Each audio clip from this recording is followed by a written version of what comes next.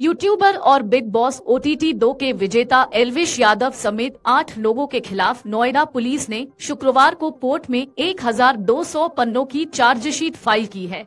Chargesheet में एलविश समेत अन्यों के खिलाफ 24 गवाहों के बयान दर्ज किए गए हैं। चार्जशीट में नोएडा पुलिस ने कहा है कि एलविश का जेल में बंद सभी सपेरों से संपर्क था और वह सांप के जहर की खरीद फरोख्त के काले धंधे में भी शामिल था। चार्जशीट में एलविश के खिलाफ लगी एनडीपीएस दी धाराओं का भी आधार बताया गया है। साथ ही उसके साथियों पर लगे आरोपों की भी पुष्टि की गई है। डीसीपी नोएडा जनो विद्या सागर मिश्रा ने बताया कि सभी नामजद आरोपियों के खिलाफ चार्जशीट दर्ज की गई है। पर्याप्त साक्ष्यों को भी अदालत में पेश किया गया है। इनमें मुंबई स्थित department of forensic medicine toxicology के विशेषज्ञ की सलाह भी मौजूद है।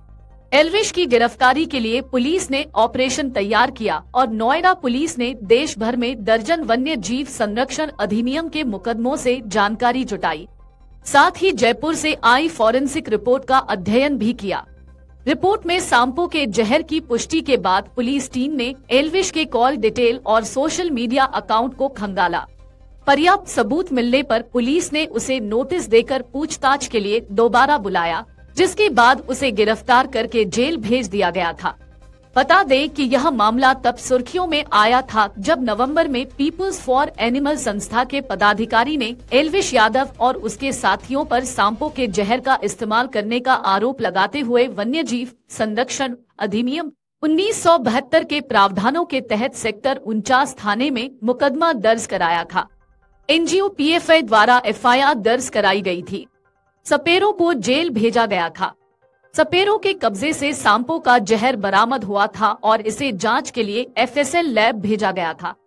नोएडा पुलिस ने एलविश यादव और उसके आठ साथियों के खिलाफ केस दर्ज होने के करीब 155 दिन बाद चार्जशीट दाखिल की है। उसके खिलाफ बीते साल 3 नवंबर को सेक्टर उनचास थाने में केस दर्ज हुआ था। पिछले महीने 17 मार्च को 136 दिन नोएडा पुलिस ने उसे गिरफ़्तार किया था। एलविश की गिरफ्तारी के बाद उसके दो करीबियों ईश्वर और विनय यादव को भी पुलिस ने गिरफ़्तार किया था। अगर आप ये वीडियो YouTube पर देख रहे हैं तो हमारे चैनल को सब्सक्राइब करें और बेल आइकन को दबाना ना भूलें। अगर आप Facebook पर ये वीडियो देख रहे हैं तो हमारे पेज को लाइक करें।